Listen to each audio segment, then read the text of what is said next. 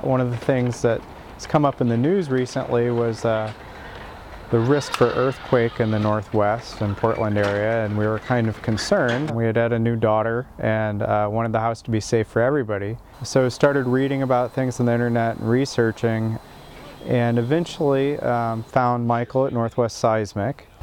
This is actually a, a, common scenario and something that people don't take into account.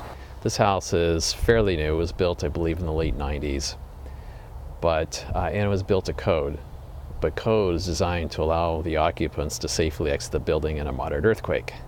That's not why people call me. So here we've got a soft story situation. We've got living space above a garage. So we've got three walls for the garage have plywood or sheetrock or something to provide that shear strength. But with these large openings, there's, there's nothing. There's nothing to provide that shear. In this house, what we had to do was reinforce the second story um, without covering the opening with plywood. So we did that by uh, opening up the garage floor, um, setting a steel beam in place, or a column, I guess is, is a vertical column. We tie it to the floor diaphragm above. We uh, use rebar to construct a rebar cage, tie that into both sides of the foundation and to the beam itself, and fill that trench with concrete.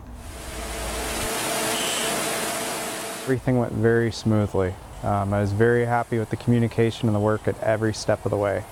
Um, and even the finished product, while I feel like it's functionally almost like a tank, it was cosmetically excellent too and retained all the function that I needed um, to even uh, use it, uh, use my garage as I had before.